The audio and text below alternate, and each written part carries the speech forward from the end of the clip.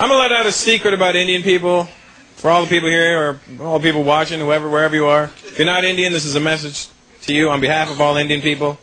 Hope my brown people don't get upset that I'm letting out our secret.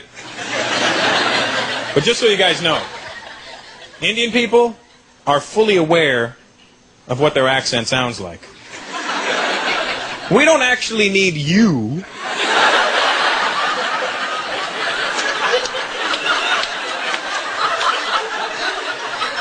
We know exactly what it sounds like.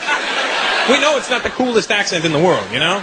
You're never going to see two Indian guys in a club standing around going, hey man, aren't we cool? Don't, don't we sound really hip? We are going to meet all the bitches tonight. I'm pimping. You know, it's not going to happen, you know? We know what it sounds like, you know? And don't think for one minute that we don't know that you're mocking us when we're not around. It's an accent. We're not deaf.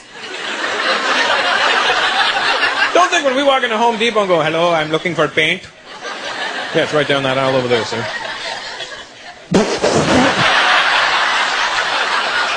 hey, Jim, did you hear that guy? He's looking for paint.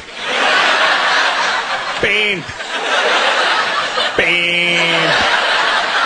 Hey, let's go have a cigarette and talk like this for half an hour. Doing it, you bastards. But Indian people know what their accent's good for and what it's not good for. We know its limitations. You know what I mean? We know it's not good for, for getting laid. It's not going to help you. Hello, baby.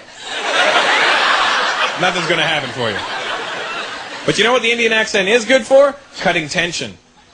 You got a tense situation, pop in the Indian accent. Tension's gone. Picture a serious courtroom drama.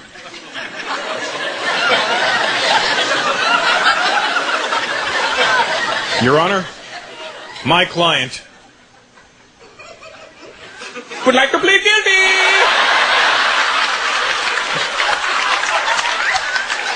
Tension's gone.